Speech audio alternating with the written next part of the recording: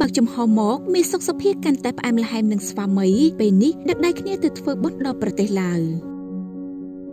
ក្រៅពីបើកចំហមិនលាក់លៀមទៀតថាខ្លួនបានរៀបការរយៈពេលប្រមាណជា12ឆ្នាំមកហើយនោះកពូតារាចម្រៀងស្រីរូបស្រស់មីសុកសាភាក៏ហាក់កាន់តែបង្ហាញពីសុភមង្គលកាន់តែខ្លាំងជាមួយនឹងស្វាមី ជារឿយៗអ្នកនាងមីសុកសាភាក៏តែងបង្ហាញនៅសកម្មភាពនឹងស្វាមីក្នុងការបំពេញការងារផ្សេងៗជាច្រើនរួមទាំងដំណើរកំសាន្តមិនថាទាំងក្នុងស្រុកឬក្រៅប្រទេសជាមួយគ្នាយ៉ាងផ្អែមល្ហែមដែលធ្វើឲ្យមហាជនមិនតិចនោះទេហាក់ច្រណែននឹងជីវិតគូស្វាមីភរិយាមួយគូនេះថ្មីៗនេះមហាជនអ្នកលេងបណ្ដាញសង្គម Facebook ហាក់កំពុងតែមានការចាប់អារម្មណ៍ជាខ្លាំងនឹងតារាចម្រៀងប្រចាំផលិតកម្មរៀមអ្នកនាងមីសុកសាភាដែលបានឃើញការបង្ហោះរូបថតជាច្រើនសន្លឹកលើទឹកដីលួងប្រាបានប្រទេសឡាវដោយធ្វើការដំណើរកំសាន្តទៅក្រៅប្រទេសលើកនេះអ្នកនាងមិនត្រឹមតែធ្វើដំណើរកំសាន្តនោះទេតែអ្នកនាងនិងស្វាមីបានទៅធ្វើបន់រាប់បាតដល់ព្រះសង្ឃ150អង្គនិមន្តមកពីវត្តចំនួន13នៅក្នុងខេត្តលួងប្រាបានដែលធ្វើឲ្យមហាជនសរសើរពីទឹកចិត្តប្រ ពៃរបស់អ្នកនាងយ៉ាងខ្លាំង